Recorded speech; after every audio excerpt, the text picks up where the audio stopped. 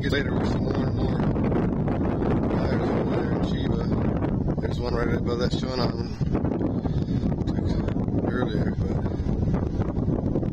there's some fires going on over here in Tokyo too, of course.